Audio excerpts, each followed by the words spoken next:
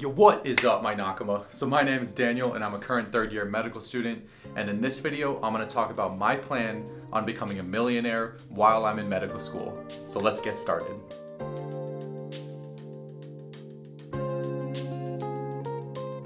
So I know this sounds pretty crazy considering the amount of debt we have and the fact that we have no job but my plan on becoming a millionaire in medical school is through my current investments. So first off, before I get into anything else that I'm gonna say in this video, I need to state that I'm not a financial advisor and you know, do not just immediately do whatever I'm gonna suggest in this video.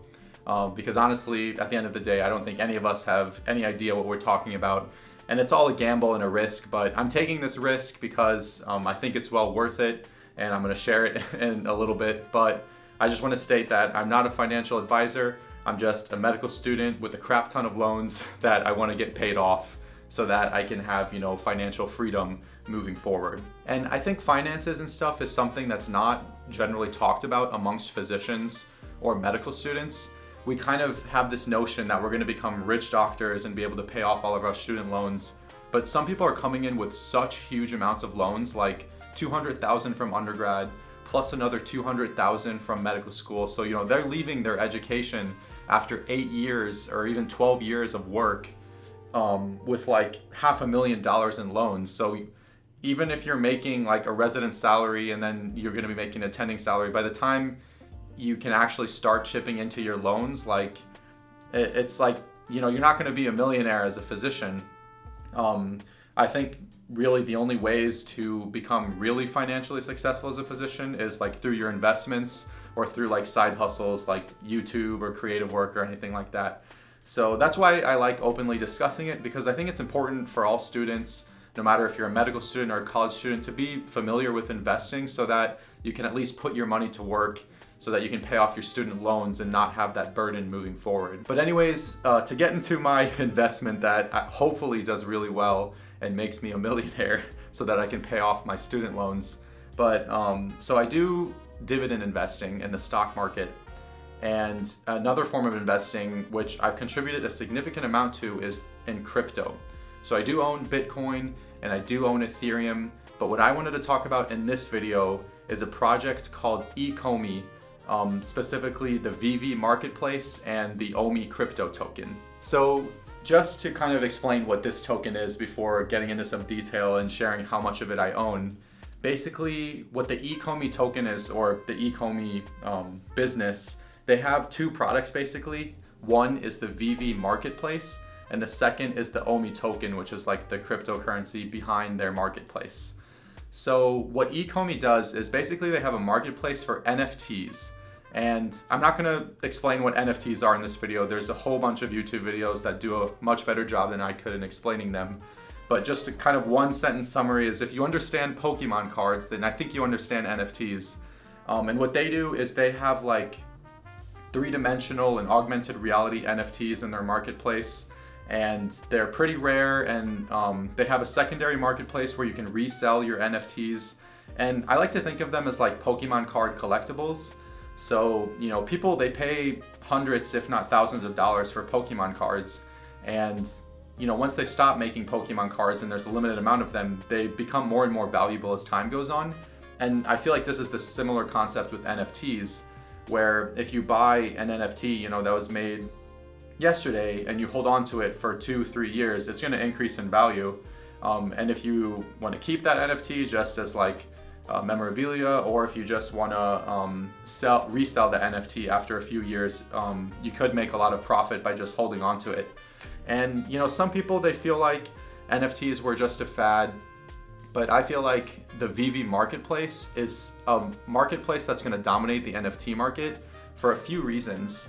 Um, one being their marketplace, they have a whole, they have a whole bunch of huge licensing deals with major brands um, like Sony, Cartoon Network. I think they have the NFL. They have Back to the Future. So they're in agreements with like huge brands and well-known like um, figures like Batman and Superman, like things that everyone knows about. So I feel like even if the NFT hype is going to decrease moving forward, I feel like they're still going to have a really strong presence in the NFT market. And I'm super hopeful because um, their NFT technology, it's not just like 2D images and GIFs and stuff. They have like three dimensional figures. They're tapping into the augmented reality and virtual reality platforms. And I feel like they're going to try and get into the gaming sector as well, where you can buy skins for games. And like, you know how many millions of dollars in revenue those gaming companies get, like Valorant or League of Legends, all those character skins, all those gun skins, they sell for so much money. So if those become NFTs and you know they somehow collaborate with VeVe for this, um, then I think the OMI token or the crypto behind everything is going to explode.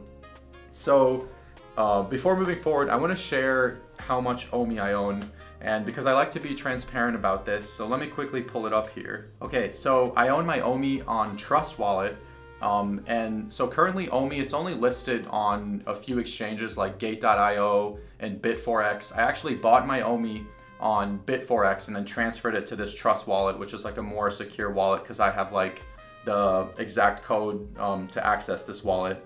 But as you can see here, I own a lot of OMI. This is the most amount of anything I've ever owned in my whole life. Um, exactly 1,051,000 OMI here, as we can see, which currently is equivalent to about $6,400. So I know this is a lot of money, and for me, it's a lot of money as well. And to some people, it's not a lot of money, like people who have millions of dollars or hundreds of thousands in the stock market, like 6,000 is a small amount, but this is the most money I've ever put into anything in my life. So for me, it's pretty big. And my average price, it's about um, six, it's about 0.0063 cents. So I'm losing a little bit, but I'm in this for the long term. So I don't care, you know, if the price fluctuates um, here and there for the next few months because I truly believe in the success of this project. Um, and I hope that if at any point it reaches 50 cents or a dollar, that I'll be able to pay off my medical school loans. But just to explain further kind of why I believe in OMI, a lot of the reason that I believe in OMI is because I like the CEO and I like the developers behind the VeVe marketplace and I like the tokenomics of this cryptocurrency. So it's a little bit different than Bitcoin and Ethereum, um, but some of the principles are still the same. You know, it operates on the blockchain and all that type of stuff. Um, but with OMI, um, one thing to consider is first, it's a deflationary token. So there's a current max supply of 750 billion OMI. So as more OMI gets used up and as more people buy it, um, the amount of supply of OMI will decrease. And hopefully that means the demand for OMI will increase. So hopefully that reflects the price of OMI. And there's a few ways that um, the circulating supply of OMI will actually decrease. One way is just people buying and holding OMI in their own wallets. So the second way that OMI gets burned from the circulating supply is when an average person um, or someone who owns OMI buys an NFT from the VeVe marketplace, that equivalent amount is burned from the wallet um, from the circulating wallet of OMI, and that is sent to the burned wallet. So basically that OMI is just taken out of circulation and now there's less OMI available overall. And this can be huge depending on how popular the marketplace is. And uh, just to give like an example, let's say that someone bought a $10 NFT. Um, and the cool thing also about the marketplace is that you don't need to know anything about crypto or OMI you can literally convert fiat money, like US dollars, into gems, which is the currency that they use in the VeVe marketplace. And then you can use those gems to buy the NFTs on the VeVe marketplace. So these gems in the background, um, one gem is one US dollar, but also um, in the background, these gems are also being converted to OMI and all that stuff in order um, to have it so that the OMI is burned. But so let's say, for example, you convert 10 US dollars to 10 um, gems, and then you use those 10 gems to buy a 10 gem worth item NFT from the VeVe marketplace, then that equivalent amount of OMI is also burned from the circulating wallet and that OMI is gone. So now there's that much less OMI available in the total circulating supply. And like this has so much potential, especially if they have huge collaborations with like Disney or Pokemon or Star Wars. I mean, they already have huge collaborations, but they're gonna keep on having um, different collaborations as time goes on, and they have these marketplace drops that happen. So I kind of only foresee good things moving forward.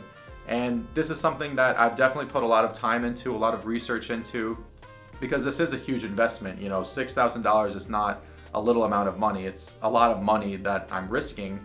And I am willing to risk that money. Like, if I lose this entire $6,000, that will be extremely unfortunate and I might cry a little bit. But I'm also willing to put that risk in and see where this goes. And I'm really hoping that I'm in super early and that I've got in at a good average price. I think there's still an insane amount of room for this token and for the VeVe marketplace to grow. And that's kind of one of the main reasons that I made this investment. And I also personally do believe in the future of NFTs. I think there was a lot of hype um, going forward, but I think we haven't even seen the total applications of NFTs um, and I don't think it's too mainstream yet. Like you don't see kids um, and average people kind of getting into NFTs. Um, and I think as it becomes more mainstream and I think as it starts to permeate into like video games and everyday society, um, I think NFTs are going to become more and more kind of normal for us to talk about. And I hope I'm early in this investment and kind of just looking back, you know, when you think about Bitcoin and Ethereum or any stock in general, uh, there's a lot of times when you look back and you're like, dang, I wish I put in $100 into Bitcoin like six years ago, or I wish like two years ago I put in $1,000 into Ethereum because now it just skyrocketed to the moon. And this is one of those investments that I feel like is going to skyrocket in the future. It might not necessarily skyrocket, but I feel like it'll continuously um, go upward in price as more and more Omi get burned. And I just kind of um, don't want to make that same mistake again, you know? I, I don't want to feel uh, left out from a project that, that I believe in and that I feel like is going to do well. So I put in a large amount of money in, and it's a risk I'm willing to take. And you know, if by the end of medical school I'm a millionaire because of this, I'm going to look back into this video and just be really happy that I made this decision. And the opposite can certainly be true. Omi could go to zero, NFTs could all crash, and I could lose this entire $6,000.